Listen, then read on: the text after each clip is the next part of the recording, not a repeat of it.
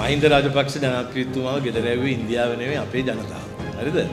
ඉන්දියාව ඒකට සම්බන්ධ කරන්න යන්න එපා. මහින්ද රාජපක්ෂ ජනාධිපතිතුමා ඉන්දියාවට ගියේ නිල සංචාරයකට නෙවෙයි. එතුමා ප්‍රයිවට් විසිට් එකකට ගියේ. පෞද්ගලික සංචාරයක් එතුමා කරේ. ඔව්. එතුමාට අවස්ථාව ලැබුණා මෝඩි අගමැතිතුමාව හමු වෙන්න. දැන් ඒ මෝඩි අගමැතිතුමාව හමු වෙලා ඒ ගහපු පින්තූරු දැන් ඇමරිකාවේ ජෝර්ජ් බුෂ් එක්කත් අපේ ජනාධිපතිතුමා දෙපාරක් ගිහිලා පින්තූරු ගැහුවනේ. හරිද? ඊට පස්සේ මෙහෙට ඇවිල්ලා ඇමරිකාව පට්ට ගැහුවා. ඒක මේ ප්‍රශ්නයක් නැහැ. ඒ රාජතාන්ත්‍රිකයෙක් හැටියට ඒ ඒ ඒ රාජතාන්ත්‍රික හමුවක් එතන ඇති වුණා. එච්චරයි. දැන්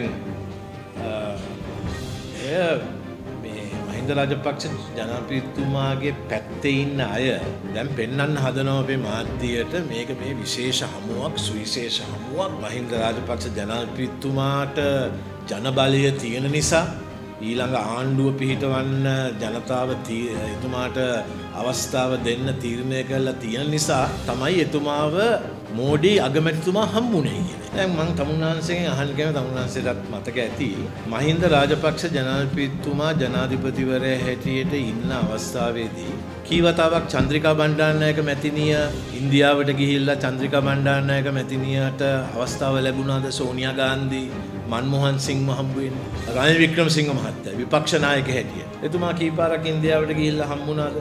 ඔය සෝනියා ගාන්ධිවයි මන්මෝහන් සිංහයි ඒ සියලුම දෙනාම. ඉන්දියාව කියන්නේ අපේ කල්යාණ මිත්‍රයෙක්. අපේ අසල්වැසි රට.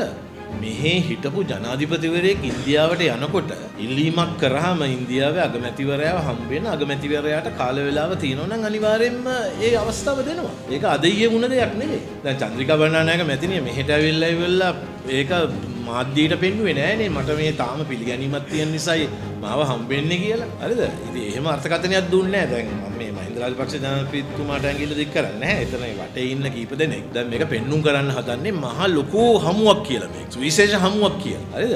ඒක සාමාන්‍යයෙන් වෙන දෙයක්. අපේ රටේ හිටපු නායකයන්ට ඉන්දියාව සලකනවා. ඉන්දියාවේ හිටපු නායකයෝ ලංකාවට එනකොට අපේ ජනාධිපතිවරු හම්බ වෙනවා. ඒ අය. ඒ කිසිම ගැටලුවක් නැහැ. අගමැතිවරු එනකොට අපේ අගමැතිවරු හම්බ වෙනවා. ඒක දේශපාලන ක්‍රියාවක් නෙවෙයි. ඉතින් ඒ නිසා ඕකට අනවශ්‍ය මේ මේ අර්ථකථන දෙන්න අවශ්‍ය නැහැ. අපේ අසල්වැසි රට හැටියට කල්යාණ මිත්‍රයෙක් හැටියට අපේ හිටපු නායකයෙකුට ඒ විදිහට සල්පය කිසිම වැරද්දක් නැහැ.